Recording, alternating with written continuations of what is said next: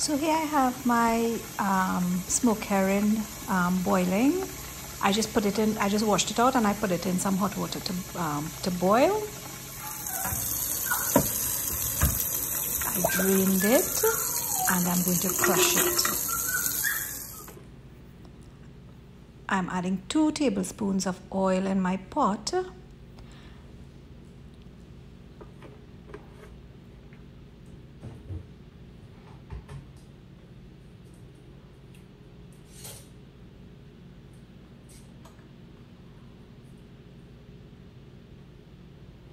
Then I'm adding two, uh, five shadow benny leaves, one clove of garlic, half a tomatoes, one pimento pepper, and a few chips of hot pepper.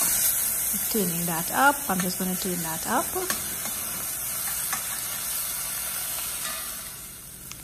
Now I'm adding my salt fish, um, my smoked herring, my crushed smoked herring and I'm going to toss that up, fry that up a little bit with the um, aromatics that I added before and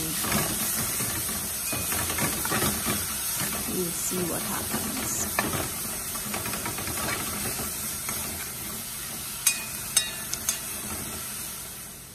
So there you have it folks, my smoked herring.